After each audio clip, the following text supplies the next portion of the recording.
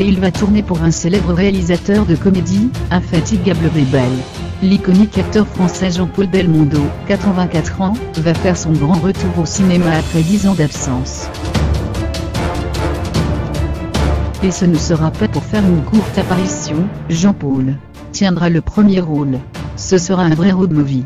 Une sorte d'hommage, a révélé officiellement l'acteur Antoine Duléry, glissant que le légendaire Adesa tournera à ses côtés dans un film de Fabien Antoniante, Camping Turf, intitulé Coup de chapeau.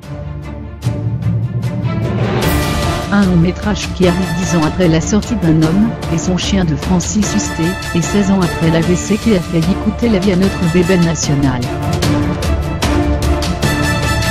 Contenant, qui planche sur divers projets, la comédie 100% bio, qui réunira Christian Clavier et Josiane Balasco et l'inclusive avec Samus Franck Dubosc, avait déjà évoqué cette improbable collaboration entre Belmondo et nous.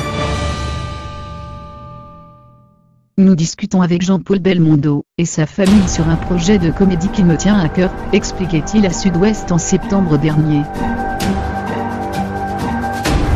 J'espère que ce rêve va s'accomplir et que je pourrai dire à Jean-Paul, action. Tourner avec des belles, quand j'y pense, j'ai des frissons, ce serait dingue. Jean-Paul Belmondo, mon idole de jeunesse, le mythe des pour moi le plus grand, celui qui m'a donné envie de faire ce métier.